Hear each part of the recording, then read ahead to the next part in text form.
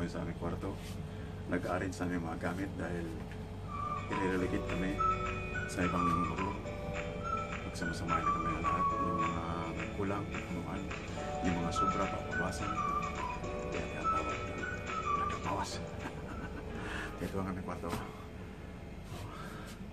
Ang kakwarto ko, nakaprepara na kasi baka bakasyon siya o naka-LBC. Yan. Yung isa dito, naka, nag-ready na rin para lumipat. Itong akin, ready ready na. Yan, sa babaw. Sa malita, sa bag, sa karton. Meron pang sa malita sa taas. At saka ito sa baba. Yan ang gamit ko. Yan ang aking higaan. Yan. Ito. 4 years na higit ako dito sa higaan na to. Documented lang to kasi parang sumid na lang natira kami dito. Yan ang aking laptop. HP lang yan, pero ginagamit ko yan sa pag uh, upload ng mga video sa aking mga vlogs. Nakakatulong sa akin. Wala pa akong camera, ginagamit ko yung mobile, yung bigay ni Lloyd na iPhone XR. Tulong sa akin sa pag-vlog. So ito yung aming kwarto. Yan ang aking deck. Dati ang kasama ko dito, si Kantor, ito may banig pa. oh. Yan o. yan, banig niya yan. Wala na mo na sa Pilipinas, si Ricky. Eh, niligpit ko lang dahil para souvenir sa kanya. Siya ang aking double deck. Siya sa taas ako sa baba dahil tandaan ako, medyo ako. Nagbigyan lang ako. Pero hindi niya kaya sa taas mainit. Kita mo naman ang ceiling. Malapit ang langit. Kaya pag summer, napakainit. Kaya nagreklamo siya. Bumili sariling kama dahil required dito sa kwarto na to, tatluhan. Isang single bed at saka isang double bed. So kami nag-double bed. So bumili siya at nilagay rito. Kasi nga umuwi na siya, pinalitan na sa ibang operator. Tapos eh, ito sa kasama ko na si Jik Jik. Pinalitan din sana yung umuwi din niya. Pinalitan din sana isang operator din. So tatlo, uli kami dito. At ngayon i-relocate kami. Gagawin kami apat sa isang kwarto. Hindi ko lang alam kung kasya kami doon. So, insya alam kasya. So ito mga kabayan, mga ka-OFW, ito ang buhay namin dito sa camp. Maganda sana ito sa camp na itong tulungan. Komportable na kami. Ito lang eh, gagawin apat daw. I-relocate pa kami. Kami nahirapan eh, kami ang lilipat. Kala ko kami ang dadagdagan. Kaya medyo maraming kalat kaya may isang TV, may isang lamisa, may apat na upuan. Sa labas yung iba. Ito may rep yung kasama ko. Personal na. So, masaya ang aming pagsama-sama rito na almost 5 years. Kasi nga, pagdating ko ito na eh. So, upo muna ako. Napagod ako sa kakaligpit. Aking magamit. Ito ang higaan. More than 5 years. More than 4 years or 5 years kami dito.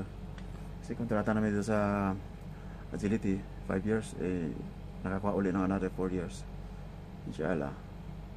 Eh, matuloy pa kami. Hindi, saka hindi na ma bawasan namin sweldo kasi maliit na nga. Kasi lilipat pa kami ang kwarto. So, pinag ko ito para magkaroon kami ng record sa aming paglipat. Kasi record daw. So, ito mga kabayan, ganito ang buhay namin sa bilang isang OFW. Magtsatsaga. I, sabi nila, pag ma, may tsaga, may nilaga. Ako, takala ko nagtsatsaga, wala may nilaga. Ang siniswerte yung mga anak ko. Sa walang may kikha.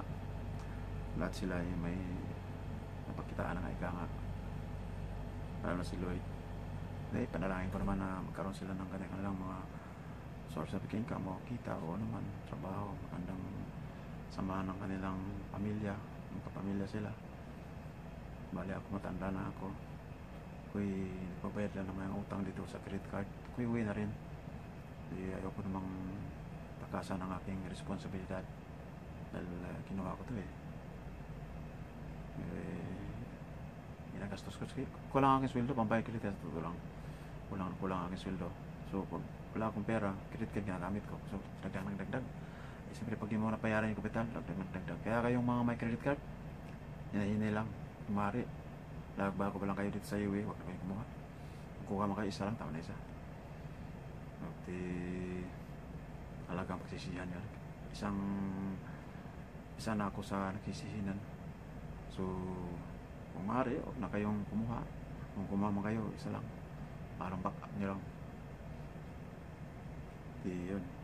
Yan. Yan ang aking higaan. So, kasan mo ako dito. Dito ako nag-exercise. Bago ako matulog. Pagkagising ko.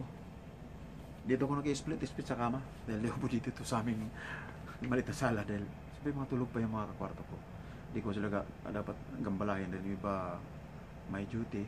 Bukasan, hindi, panggabi. Hindi ko sila pwede gambalayan. So, dito lang ako sa loob nag-exercise. May mga paraan ako paano ako mag-exercise na ma-preserve ko ang aking flexibility kahit na ako'y may edad na. So, dito lang ako sa nag single split, isa nag sa side split ako dito sa aking kama. Maniwalat kasi hindi. Minsan tatlong oras. Naka-split akong gayaan. Mhm, Habang naghihintay ako ng signal ng internet, yung bagal ang internet dito. Habang nanonood ng YouTube kaya nag-upload. Yun lang ang aking libangan dito. Wala akong ibang ano. So, kung sa aming loob ng kwarto, ito lang ang aming ginagawa. So, nagpakalungkot dahil kami lilipat.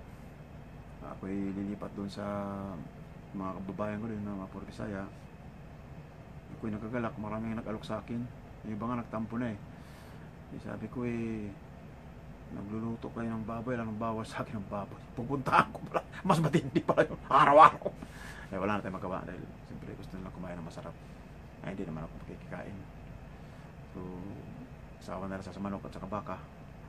Eh, gusto naman nila na kumain. naman sila. At ako naman ay nakaintindi sa aking nakalakayan. Pero ako, kaya nagluto sila doon, eh, labas na lang ako. Kahit dito sa kwarto namin, pwede naman dahil kasama ka rin. Kaya ako lang kasi nag-iisang Muslim dito sa mga Pilipino dito sa Kwan facility. Yung iba, umuwi na. Hindi na po. Hindi na, hindi na nag, ano, renew na lang kontrata. So, mag-isa na lang ako rito. Kaya ngayon, nag, ano, so wala akong mapilian na magiging kwarto. So marami nag-ano sa akin, nag-aalok. Eh, parinig nga ako doon sa una kong vlog na sino ang mag-aampon sa akin. eh, yung aking namang pinuntahan eh, tanggap naman nila ako kahit may edad na. Pero ayaw ko sa deck. Dahil dati kasi nag-ano ako, ang unang lipat namin sa Agility, sa, may- sa may ano, sa may Highland. Sa Gatiro din. Doon ako sa, sa second deck. Talagang hirap hirap ako bumaba. Dahil siyempre naghinay, nagdahan din ako sa masaya pa hinay-hinay. Dahil bawat ihi ko, bababa ako, lalabas ako. Kasi nga bukas kami pagkatapos mag-ihi. Doon sa, sa uh, comfort room. Sino galing mag hindi kami atas bathroom.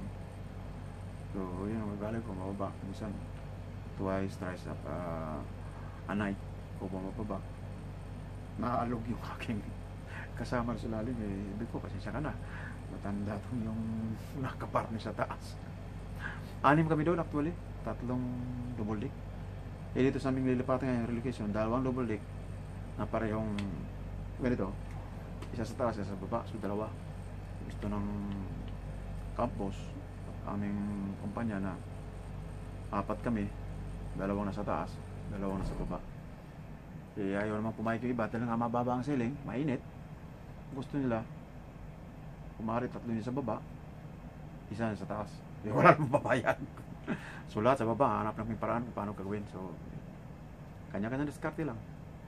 So ngayong gabi, may ligpit ko na ito yung mga gamit kasi singkis maayos na ngayong gabi yung aking lilipatan. Lilipatan ko na agad, bitbitin ko na lang ito. Sorry ko alam kung dadalhin ko pa itong aking double deck. Bahala na. So comment down below kung kayo isang OFW, OFW na narasan din ito narasan namin. Pero sa Saudi ako, talagang mas maliit ang sweldo ko doon kasi dito. Hindi ko narasan ganito eh. Ang ganda ng aming accommodation. Kasi American company kasi kami. Dalawa lang sa isang kwarto. Kalinis, carpeted yung aming kwarto. May isang, ano, yung water dispenser. First time ako nakagamit ng water dispenser nung sa Saudi ako. Nasa loob namin kwarto. Hindi ko mga alam. Mayroon palang, i- ano doon, ini tubig. may hot water pala, hindi ko na alam. So doon ako nagpindot-pindot sa malamig habang nag-iinit ako lang. Kasi meron akong takuri doon eh. Iniinit ko sa takay yung kasama ko. Pare, ba't ka lagyan ng tubig dyan? Sabi ko, bakit? Merong init tu- tubig dyan ha, yung wa- ating water dispenser. Saan ito? Meron nakalagay hot. Ano ba? Hindi ko na alam. Sabi, ignorante, wala naman sa bundok yan. Ano mong malaman kung meron ba hot water yun? Pwede ka magkape ba? Naparami tuloy ang aking kape. Ibig na twice a day lang ako magkape. Ay, apat na beses na. Kaya nagtaka yung mga kasama ko nung dumating ako dito. Pare, bakit eh, napadalas na ang kape mo? Hindi ko sanay na ako sa Saudi. Dalawa yung kwarto, mayroong water sa loob eh. Bumili ako ng kape doon. Hindi, hindi uso yung 3-in-1 doon eh, sa Saudi. Laking ano, alalaki ng buti ng ano, kape. Sulit talaga ng kape. Bili ako ng buo. Tapos coffee mate. Si walang maliit doon eh. Puro malalaki. Sukal. ah, maya, maya ako kape. Maya, maya kape. Wala, alternate ko lang yung ano, yung tsaa. Kasi doon lang ako nakatingin man tsaa na may gatas eh. Sa, sa atin, may sakit lang nag, nagtsatsa eh. Okay, magtsaa tayo sa wala namang gatas. Wala ko ba dito? Social pala ano? Tsa, may gatas. Pag alam ko, sa kape lang yan eh. Masarap din. Kaya, yun, tuloy lang. Kaya yun mga kabayan. So, ang kinaranasan dito, hindi ko naranasan sa Saudi, ang kapagkandaan namin accommodation sa Saudi. Talagang maging sa CR, comfort room, ah, shower room, malayo, malayo dito sa accommodation. Pero dito, eh, napagtsaga na. Eh, sige, tsaga lang kami. Eh, okay naman din ang CR. Shower room, walang, walang kulang dahil marami kami. Around 200 yata kami dito. Ilan lang ang shower room, tsaka com- comfort room. Sa labas pa. Kaya pag dadami, kaya talagang tulo jacket ka. Pagtaginit naman, ako, dala ka ng paypay. dahil mainit sa loob ng comfort room eh. So yun lang aking may share sa inyo mga kabayan. Yun ang aking na-experience dito sa UEA. At i-share ko lang sa inyo. Kaya kung magkapot kayo, magsanay na kayo. Magkasama kayo sa lahat ng lahi, lahat ng ugali ng tao nandito sa Middle East. Dahil Siyempre, iba-iba ugali ng bawat tao. Iba-iba ang, kumbaga sa ano eh, rehiyon sa ating Pilipinas, plus pa sa ibang bansa.